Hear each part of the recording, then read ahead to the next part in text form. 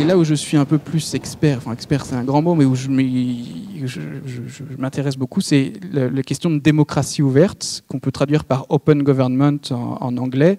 Euh, donc une gouvernance plus ouverte avec trois principes, trois principaux euh, euh, sujets. Est-ce que non, j'ai pas fait un zoom sur chaque principe, mais je vais vous les expliquer.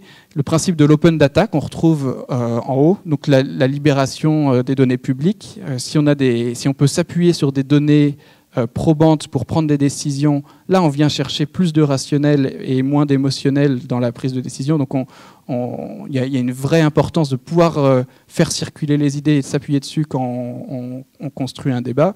Typiquement, si jamais on met en, la vidéo euh, d'un truc horrible et qu'on demande de voter ensuite, on va avoir des, décisions populistes qui risquent d'être prises parce qu'on on, s'adresse à de l'émotionnel.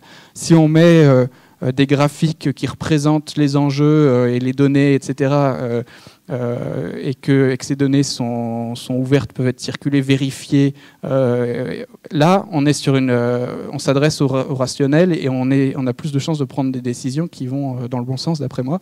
Donc cette question de la transparence me semble importante. Donc ouverture des données publiques, mais aussi pédagogie, donc savoir traiter ces données et savoir expliquer les, politiques qu'on vient baser sur les, données. C'est le premier champ, c'est la transparence. Le deuxième champ, c'est la participation. Euh, on retrouve les différentes échelles, ça va de la consultation en passant par la concertation jusqu'à la co-construction. Donc là, dans la participation, on a vraiment ces logiques-là, en sachant qu'on reste sur euh, une collectivité, souvent, ou une puissance publique qui vient demander un avis euh, sur les projets qu'elle mène.